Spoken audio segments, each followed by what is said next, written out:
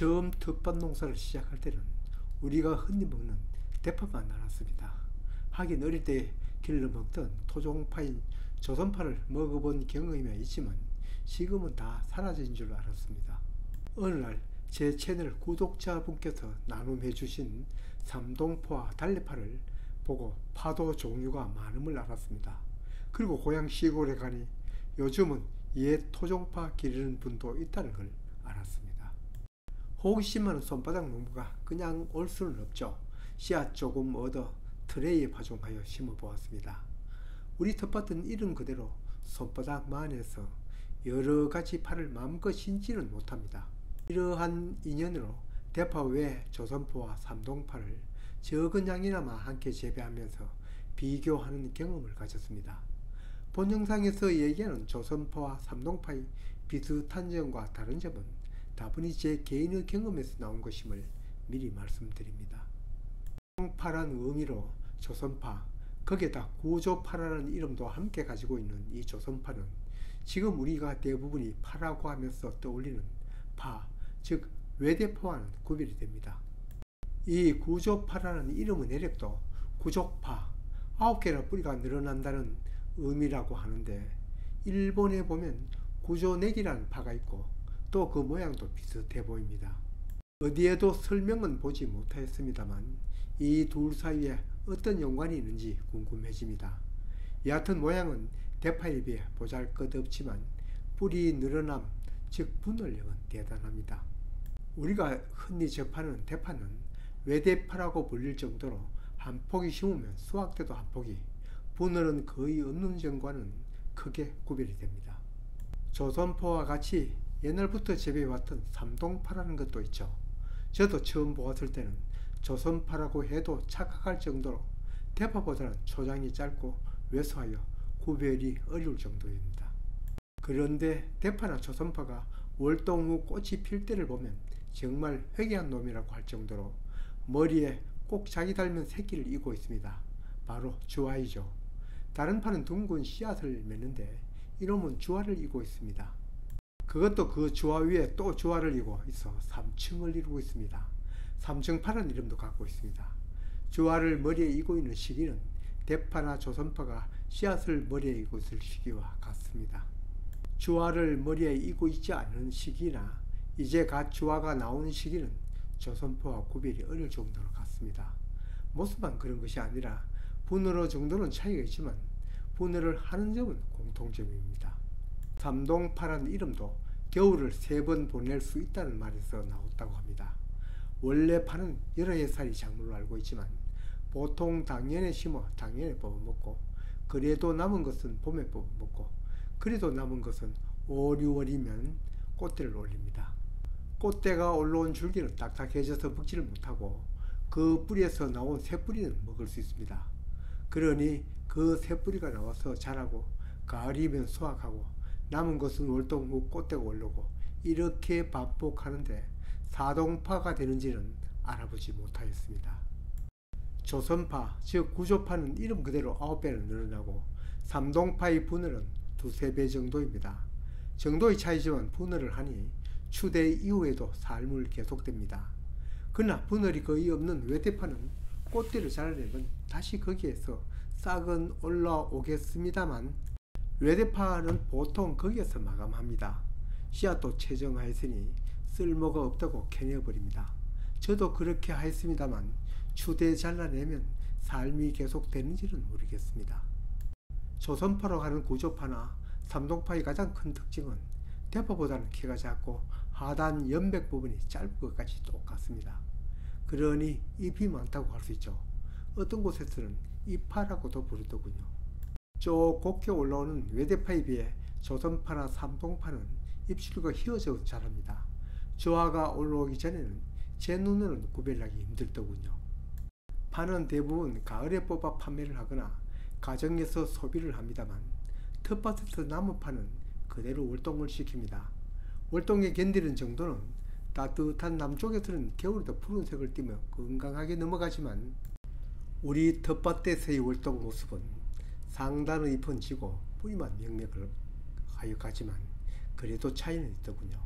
대파는 푸르던 잎은 영잎이 지고 연백 부분과 약간은 푸른 잎으로 겨울을 합니다. 같은 밭, 심지어 같은 망에서 월동을 보내는 조선파는 왼쪽의 대포와는 더 대조를 이룹니다. 안 그래도 나지막한 것이 폭삭 주저앉을 만큼 땅에 붙어 겨울을 하고 있습니다.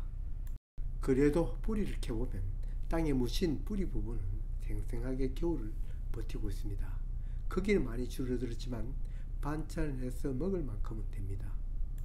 대파는 그래도 땅 위 연백 부분은 어느 정도 남아있는데 이 조선파는 땅 속에 묻힌 부분만 남아있는 것처럼 보입니다. 그럼 삼동파는 겨울 모습이 어떨까? 조선파보다는 더합니다. 땅 위 부분은 거의 보이지 않을 정도로 흡사 고사한 것처럼 보입니다. 이것도 캐어봅니다.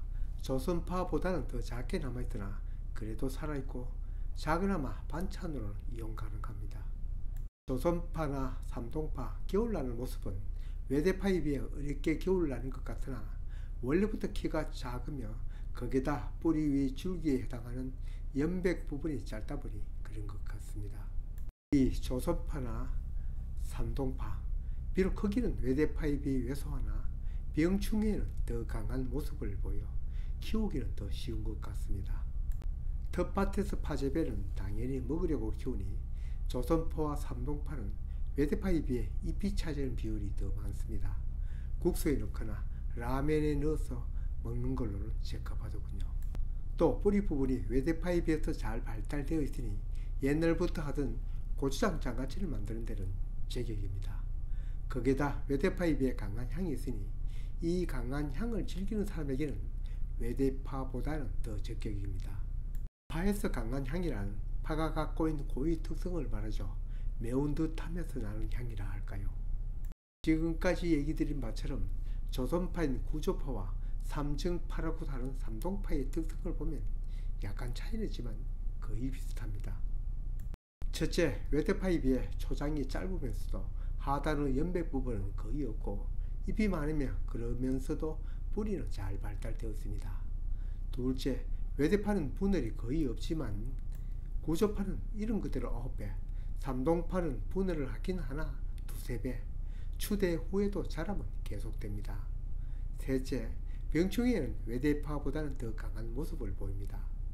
넷째, 향에 강하여 자라는 동안은 잎을 이용하는 데 적합하며 다 자란 후는 뿌리는 고추 장아찌 담는 데 적합하더군요. 다른 점은 뭐니 해도 바로 분해를 하는 것 외의 번식 방법입니다. 앞에서도 잠깐 언급하였지만 조선파인 구조파는 외대파와 같이 둥근 꽃이 피며 까만 씨앗을 맺습니다. 그에 비해 삼동파는 주화로 번식합니다. 그것도 앞에서 언급한 것처럼 머리에 이고요.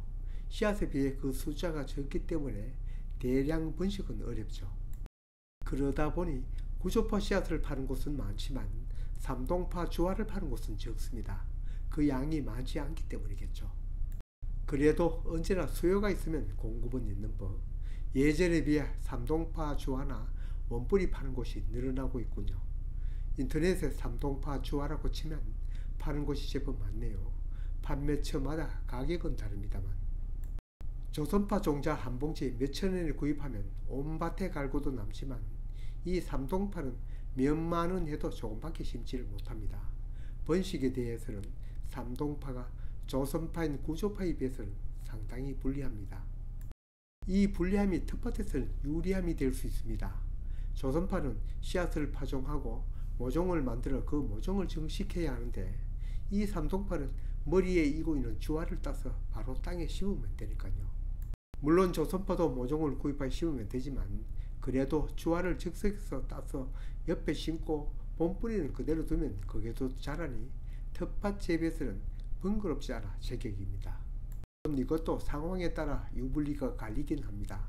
제법 많은 양을 소비하는 경우에는 조선파 씨앗을 모종을 심고 보통은 일반 외대파를 심어 이용하고 이파로 이용하거나 뿌리를 이용하는 특수한 경우에만 소량 이용한다면 삼동파만 해도 될 것 같습니다. 우리는 대파, 구조파, 삼동파, 쪽파 거기에다 달래파까지 재배하니 안 그래도 좁은 손바닥 농장에 작은 양이라도 모두가 키우기가 어려워 쓰임이 비슷한 구조포와 삼동파는 하나만 선택하여 재배하고 있습니다. 외대파에 비해 그렇게 쓰임이 많지 않으니 삼동파 심어서 주화 열리면 바로 그 옆에 주화 꽂아놓고 병충해 적으니 그렇게 손볼 일 없으니 아주 몇 뿌리만 심어 가꾸고 있습니다. 여기에도 문제가 있습니다. 자가 소비 그것도 특별한 데만 이용하기 위해 키우니 자연적 몇 폭이 되지 않으니 농장을 방문하는 지인이나 아니면 유튜브를 보신 시청자분께 나눔을 제대로 못하는 점입니다.